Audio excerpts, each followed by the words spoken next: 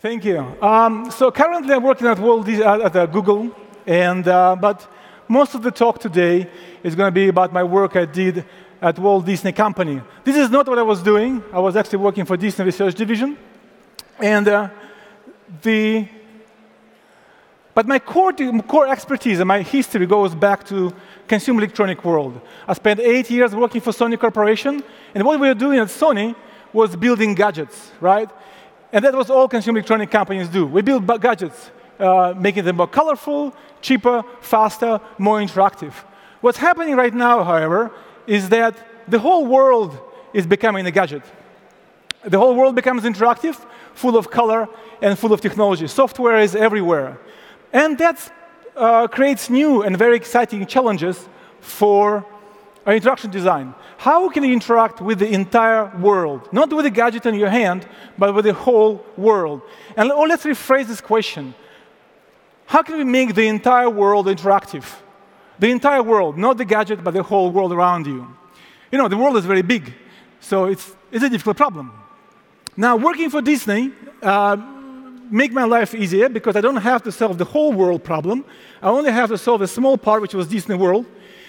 And we can, in this, my, the rest of my talk, I would like to show some of the ideas and some of the uh, lessons we learned and technologies we created to approach this problem, solving the whole world interactivity problem. So, uh, lesson number one we have to give senses to the world, and we have to give, it, give the senses non invasively. If you put in software intelligence everywhere, it has to sense you as well. So this is a project we did at, uh, Disney. It's called Touche. And what it does, it's a very simple sensing system which takes everyday objects and makes them smart. In this case, we took a doorknob, and now you can recognize with a single wire, it can recognize that you touch with one hand, with two hands.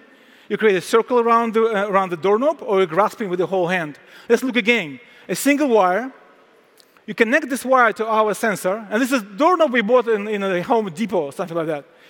And now this, uh, this doorknob becomes intelligent. It can know how you're touching it and can respond accordingly.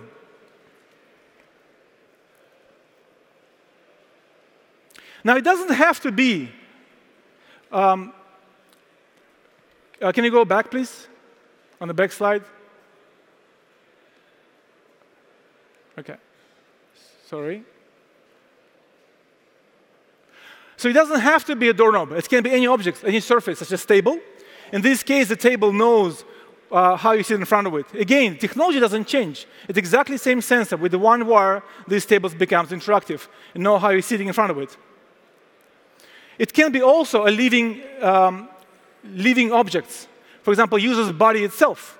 So now with the same sensor, and with the same technology Touche, we know how the user holding his own hands and how user holding his own body. It can recognize when you're grasping hands or even when you're touching other parts of your body. It can also be other things, such as plants.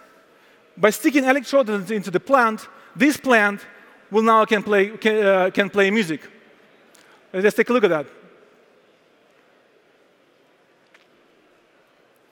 So as you slide your fingers on the, uh, on the, on the orchid, you can see where you're touching the orchid. And these gestures can be remapped into, into various, um, you know, into the music.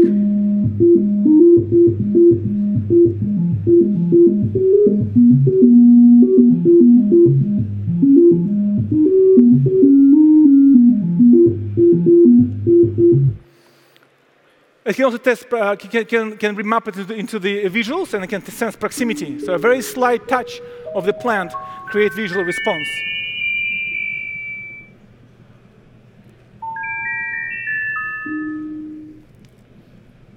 It's quite sensitive too.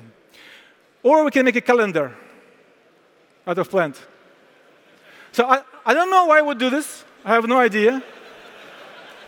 but you can, and that's what's important. You can do this.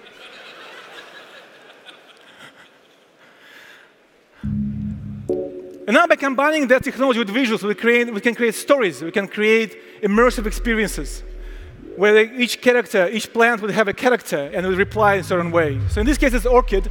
An orchid doesn't like to be touched. When you touch it too strongly, it starts hissing at you.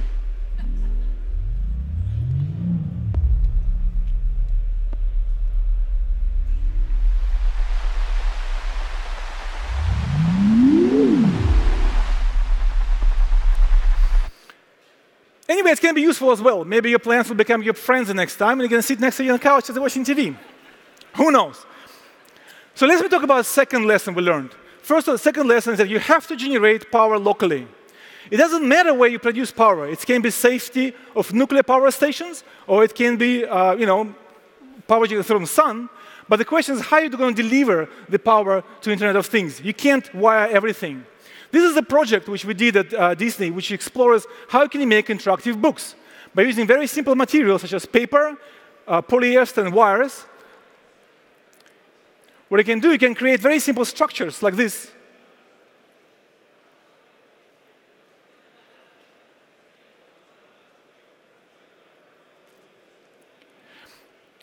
And now by tapping on the button, you can create electrical signals. And those electrical signals can be remapped now into the flashing LEDs and interactive books. You can turn on e-paper, you can turn on displays, turn them on and off. And you can create animations, such as this case, hello. You can create physical motion just by rubbing piece of paper without any battery. Or you can control external devices. All of that is done by generating power locally without having to put a battery or connect the wires. And that's very important for the Internet of Things, very important for the future uh, smart environments. You can also print or paint it. And now it can generate multiple, uh, you can lay up multiple images, as many as you want, actually. Or it can create a very large, it can also work in large environment. It can scale to the size of the building. In this case, two people riding on the both side, and it goes in and out depending who is rubbing strongly. My third, my third lesson is to make invisible displays. Today, interaction is mostly focused on visual information. We always see stuff. But what's going to happen is that when everything is covered display, how are we going to uh, communicate information? We created a technology, haptic technology, which communicate through vortices. So it tracks positions of your hand as you move your hand around. It's called AIREAL. And that's how it looks like. So uh, we create the vortices flying out of the, of the device, and we can track position of the hand, so you can feel information in space by your hand.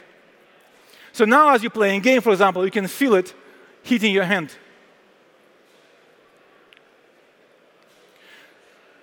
And with this technology, you can start creating very complex experiences. And this is an example of that.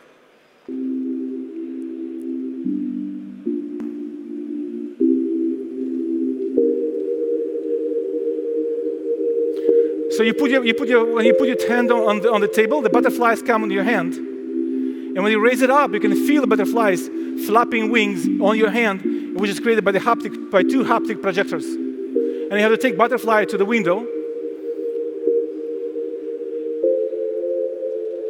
And it flies to freedom. It was very, uh, very nice experiences. We showed in multiple places, and people were really excited about it. So, um, let me conclude. What we're talking right now is about kind of upgrading the world, right? We're trying to create technology which is going to turn our world into the world 2.0, right? The exciting point about it is we don't really know how it's going to look like and how it's going to feel like. We're just in the process of creating that. And uh, we often assume it's going to look something like that. It's going to be more computing, more power, and so on. But maybe not. Maybe it's going to look like, like something completely different. Maybe it's going to look like that where all the images are going to be removed and replaced with augmented reality markers. So you can, when you only see through glass, Google Glass, for example, some other display, you will see images on the world. Maybe that's how, you uh, maybe that's how your room uh, going to look like uh, back in the house, devoted and barren, and everything computer generated, right? Or maybe oppositely, your, your world is going to look like that, where everything is haptic and moving all the time, actuated, everything is robotic, and, uh, and information is communicated through electrical signals coming through your body, through the objects around you. So the question is how the world 2.0 will look like, and that's the questions to you. Thank you.